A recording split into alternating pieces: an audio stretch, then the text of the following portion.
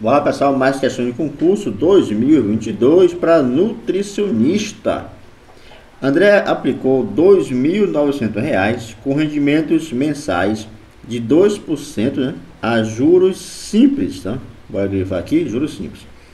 O montante relativo a essa aplicação será acreditado na conta dele após oito meses. Qual deverá ser o valor acreditado na conta do André? Né?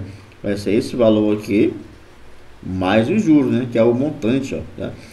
Que é o capital mais os juros dá o montante. Olha só como é juros simples, ó. E a taxa está em mês. O tempo também está em mês, ó, faz por porcentagem normal, ó. 2% ao mês, durante 8 meses dá 8 vezes 2, dá 16% aí de juros, ó. 16 sobre 100, que é 16%, vezes os 2.900, que é o capital que ele investiu aí. Posso simplificar os zeros, ó, 2 zeros de cima com 2 de baixo.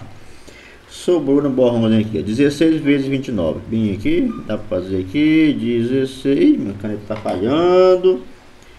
16 vezes 29, né? Que é um 6, tá? 9 vezes 6, 54, sobe 5. 9 vezes 1 é 9 com 5. 9 com 5 dá 14, não é isso? 2 vezes 6, 12. Sobe 1. 2 vezes 1 é 2. O que foi? Dá 3. Somando aqui, abaixo 4. 2 mais 4 dá 6. 1 mais 3 dá 4. Esse valor que está dos juros, que é 16% de juros, vai dar 464 reais, tá?